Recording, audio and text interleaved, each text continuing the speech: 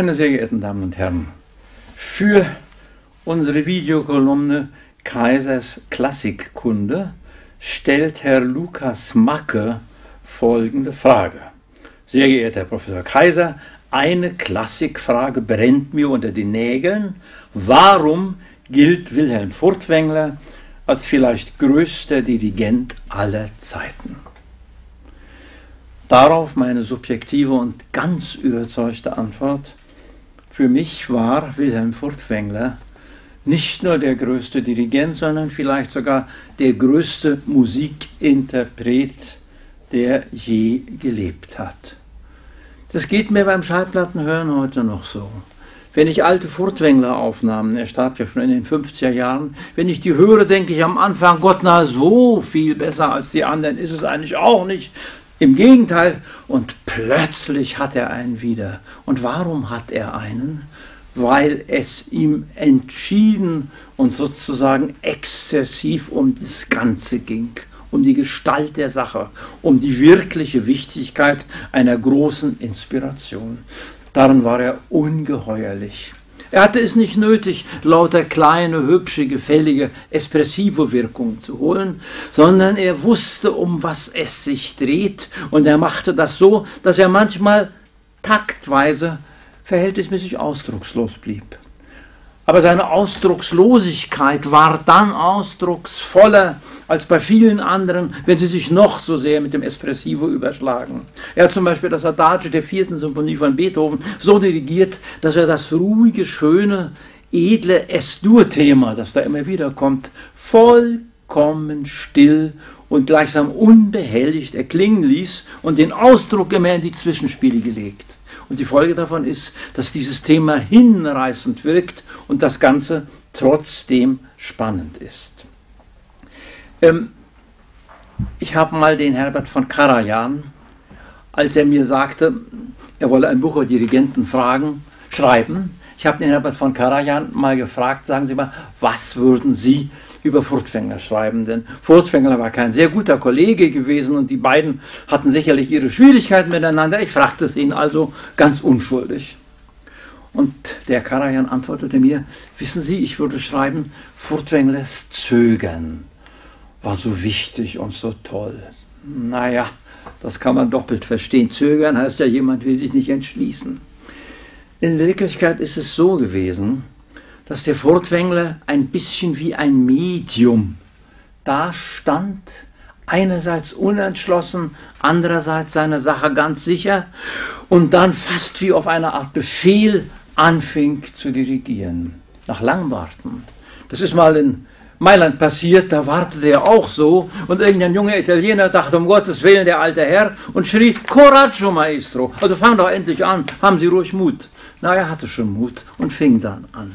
Also dieses Warten, diese Unsicherheit, die ging sozusagen als, als mediale Größe in seine Kunst ein.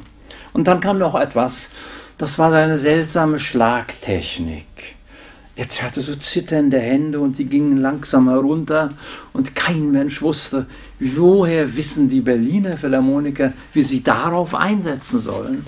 Und wenn man die Philharmoniker fragte, ich kannte den Geiger Thomas Brandes und manche anderen gut, wenn man die fragte, sagt man Kinder, wie setzt ihr denn da ein? Dann machten sie die tollsten Witze. Sie sagten, passen Sie auf, wir setzten ein, wenn er bei dem dritten Knopf seiner Frackweste angekommen war. Und manche sagten, wir setzten ein, wenn wir nicht mehr warten konnten. Aber sie setzten doch ein und die Einsätze hatten eine ziemliche Gewalt. Theodor Adorno, der Furtwängler, auch ungeheuer verehrte, schrieb trotzdem mal gehässig, Furtwängler könnte der allergrößte Dirigent sein, wenn er zufällig dirigieren könnte. Mit einem Wort, seine Dirigiertechnik war sicherlich anfechtbar. Nur, wenn man Proben von ihm hört, es gibt ja Probenaufnahmen, 1948 aus Stockholm, da probt er die dritte Leonore-Ouvertüre und ist ganz genau exakt und sagt genau, was jeder machen soll und ist auch vollkommen rhythmisch. Es stimmt also nicht, dass er sein Metier nicht wirklich beherrschte, er ließ es nur nicht so merken. Es gibt eine berühmte Anekdote, da baten ihn die Philharmoniker mal bei einer schwierigen Stelle, Herr Doktor. Er ließ sich komischerweise so gerne Doktor nennen. Also wenn ich Furtwängler wäre, würde ich mich lieber Furtwängler nennen lassen als Doktor. Aber bitte, er bestand darauf. Sie sagten, Herr Doktor, schlagen Sie das doch mal ganz genau und hart durch, damit wir die Sache üben und richtig können. Und das tat er, das war für ihn etwas Leichtes, er schlug das durch und sie spielten es und alles kam sehr schön. Und dann fragten sie ihn nach, wie hat es Ihnen gefallen? Dann sagte er, überhaupt nicht, ich fand es so scheußlich direkt. Daran denke ich oft, wenn ich gegenwärtig in Konzerten sitze, wo alle wunderbar klar schlagen und alles kommt so scheußlich direkt. Es kommt noch etwas hinzu, was ich meinen jüngeren Hörern sagen muss, das wissen nur die mittlerweile ganz, ganz Alten. Furtwängler war vielleicht nie besser als während der Kriegsjahre.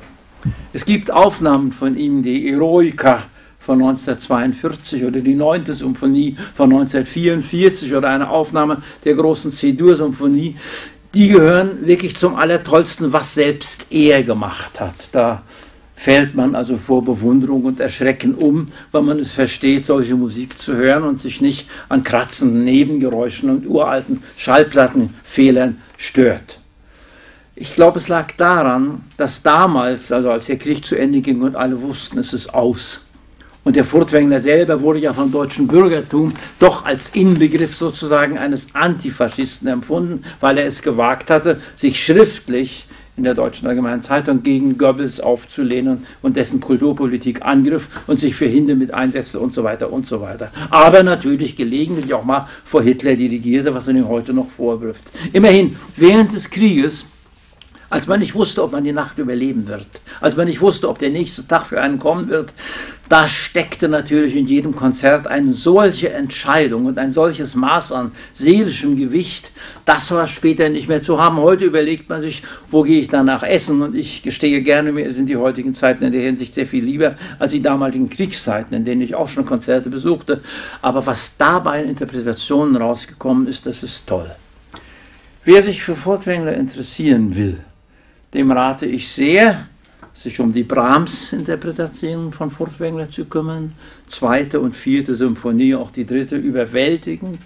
Sich mit Furtwänglers Beethoven auseinanderzusetzen und seine vielleicht allerschönste Aufführung, nämlich die große C-Dur von Schubert, nicht zu verschmähen.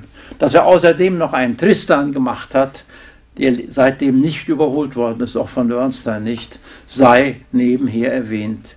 Übrigens, meine sehr verehrten Damen und Herren, nicht nur ich rede so ein bisschen zu begeistert über Furtwängler, wie Sie wahrscheinlich finden werden. Barenbäum, Claudio Abado und Christian Thielemann bezeichnen den gleichen Furtwängler, der am Ende seines Lebens und in den 50er Jahren noch häufig angegriffen wurde, als ihr großes Vorbild. Und der wahrlich auch große Toscanini hat gegenüber Furtwängler eigentlich keine Chance mehr. Schönen guten Abend.